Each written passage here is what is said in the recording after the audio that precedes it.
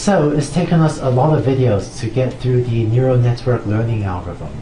In this video, what I'd like to do is try to put all the pieces together to give an overall summary or a bigger picture view of how all the pieces fit together and of the overall process for how to implement a neural network learning algorithm.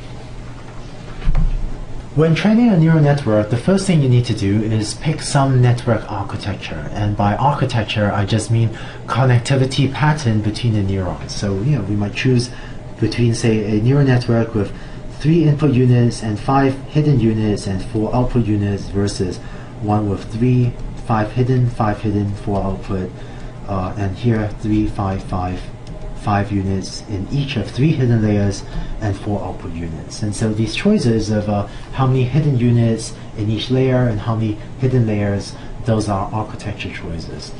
So how do you make these choices? Well, first, the number of input units, well, that's pretty well defined. And once you've decided on a fixed set of features x, the number of input units will just be, you know, the dimension of your feature, features xi will be determined by that.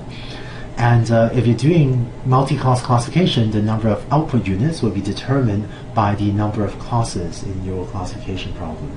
And uh, just a reminder, if you have a multi-class classification where y takes on, say, values between uh, 1 and 10, so that you have 10 possible classes, then remember to rewrite your outputs y as these sorts of vectors, right? So instead of class 1, you recode it as a vector like that, or for the second class, uh, as a vector like that. So if one of your examples is um, takes on the fifth class, you know, y equals 5, then what you're showing to your neural network is not actually a value of y equals 5. Instead, uh, here at the output layer, which would have uh, 10 output units, you would instead feed the vector, which, you know, with, um, with a 1 in the fifth position, and then a bunch of zeros down here. So the choice of number of input units and number of output units is maybe somewhat reasonably straightforward. And as for the number of hidden units uh, and the number of hidden layers, a reasonable default is to use a single hidden layer. So this type of neural network shown on the left with just one hidden layer is probably the most common. Or if you use more than one hidden layer, uh, again, a reasonable default will be to have the same number of hidden units in every single layer. So here we have two hidden layers, and each of these hidden layers has the same number, five of hidden units, and here we have you know, three hidden layers, and each of them has uh, the same number, that is five hidden units. But rather than doing these, this, this sort of network architecture on the left would be a perfectly reasonable default. And as for the number of hidden units, usually the more hidden units the better. It's just that if you have a lot of hidden units, it can become more computationally expensive. But very often, having more hidden units is a good thing. And usually the number of hidden units in each layer will be maybe comparable to the dimension of x, comparable to the number of features, or it could be anywhere from same number of uh, hidden units as input features to maybe twice of that to three or four times of that. So having a number of hidden units is comparable or you know several times or somewhat bigger than the number of input features is often a useful thing to do. So hopefully this gives you one reasonable set of default choices for network architecture. And uh, if you follow these guidelines, you probably get something that works well. But in a later set of videos where I'll talk specifically about advice for how to apply learning algorithms, I'll actually say a lot more about uh, how to choose a neural network architecture. I actually have quite a lot more to say later about how to make good choices for the number of hidden units, number of hidden layers, and so on. Next, here's what we need to implement in order to train a neural network. There are actually six steps that I have. I have uh, four on this slide and two more steps on the next slide.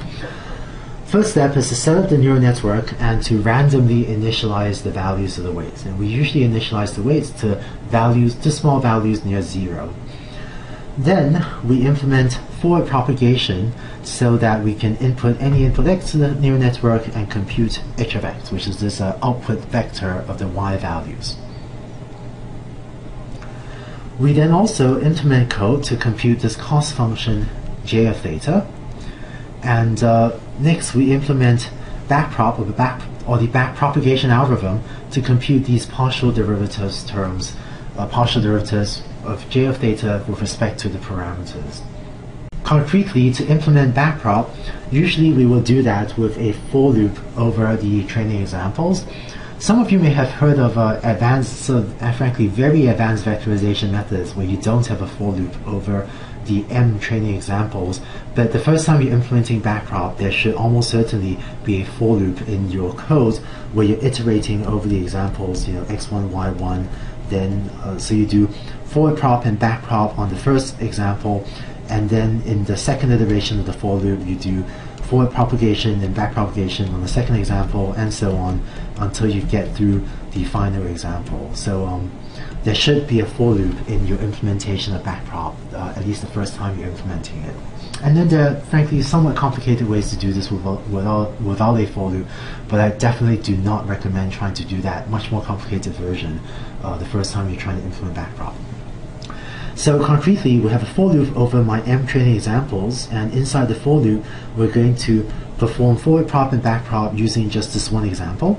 And what that means is that we're going to take xi, and feed that to my input layer, perform forward prop, perform back prop, and that will give me all of these activations and all of these delta terms for all of my all of the layers of all of my units in the neural network.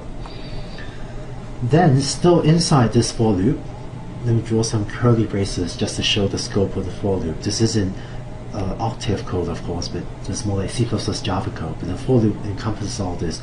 We're going to compute those delta terms which uh, here's the formula that we gave earlier, plus you know, delta L plus 1 times uh, A L transpose, and then the sum of the code. And then finally, outside the for loop, you know, having computed these delta terms, these accumulation terms, we would then have some other code, and then that will allow us to compute these partial derivative terms, right? And uh, these partial derivative terms have to take into account the uh, regularization term lambda as well. And so that those formulas were given in an uh, earlier video. So having done that, you now hopefully have code to compute these partial derivative terms. Next in step 5, what I do is then use gradient checking to compare these partial derivative terms that were computed. So compare the versions computed using backpropagation versus the partial derivatives computed using the numerical estimates, that is using the numerical estimates of the derivatives. So do gradient checking to make sure that both of these give you very similar values. Having done gradient checking, this now reassures us that our implementation of backpropagation is correct, and it's then very important that we disable gradient checking because the gradient checking code is computationally very slow. And finally, we then use an optimization algorithm such as gradient descent or one of the advanced optimization methods um, such as LBFGS, conjugate gradient, uh, as embodied in sort of fminunc, or, or other optimization methods. We use these together with backpropagation. So backpropagation is the thing that computes these partial derivatives for us. And so we know how to compute the cost function, we know how to compute the partial derivatives using backpropagation.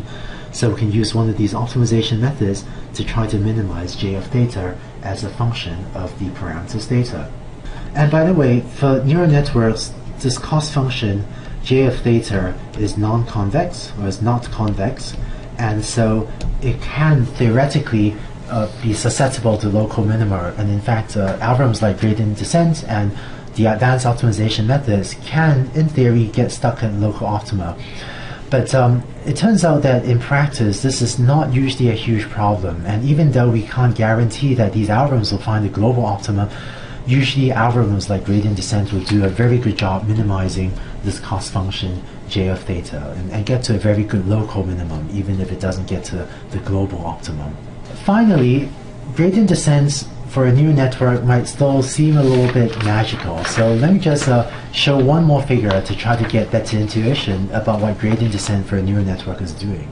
This was actually uh, similar to the figure that I was using earlier to explain gradient descent. So we have some cost function and we have a number of parameters in our neural network. Right here, I've just written out two of the parameter values. In reality, of course, in a neural network, we can have lots of parameters. So these theta 1, theta 2, all of these are matrices, right? So we can have very high dimensional parameters, but because of the limitations of the source of plots we can draw, I'm pretending that we have only two parameters in this neural network, although obviously we have a lot more in practice. Now, this cost function j of theta measures how well the neural network fits the training data. So if you take a point like this one, down here, that's a point where j of theta is pretty low. And so this corresponds to a setting of the parameters. There's a setting of the parameters theta where, you know, for most of the training examples, the output of my hypothesis that's maybe pretty close to yi. And if this is true, then that's what causes my cost function to be pretty low. Whereas in contrast, if you were to take a value like that, a point like that corresponds to where for many training examples, the output of my neural network is far from the actual value yi that was observed in the training set.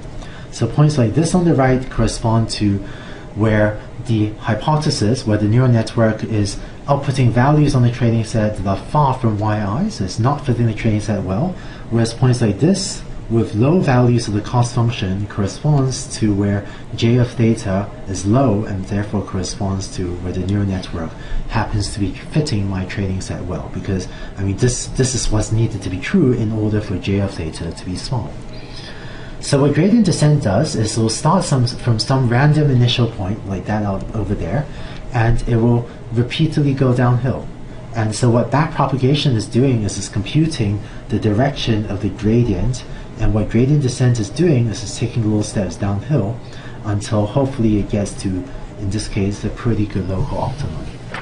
So when you implement backpropagation and use gradient descent or one of the advanced optimization methods, this picture sort of explains what the algorithm is doing. It's trying to find a value of the parameters where the output values of the neural network closely matches the values of the yi's observed in your training set. So hopefully this gives you a better sense of how the many different pieces of neural network learning fit together. In case, even after this video, in case you still feel like there are like a lot of different pieces and it's not entirely clear what some of them do or how all of these pieces come together, um, that's actually okay. Neural network learning and backpropagation is a complicated algorithm and uh, even though I've seen the math behind backpropagation for many years, and I've used backpropagation, you know, I think very successfully for many years, even today, I still feel like I don't always have a great grasp of uh, exactly what backpropagation is doing sometimes, and what the optimization process looks like of minimizing J of theta. And uh, this is a much harder algorithm to. I feel like I have a much less good handle on you know exactly what this is doing compared to, say, linear regression or logistic regression, which were mathematically and conceptually much simpler and much cleaner algorithms. But so in case you feel the same way, you know, that's actually perfectly okay.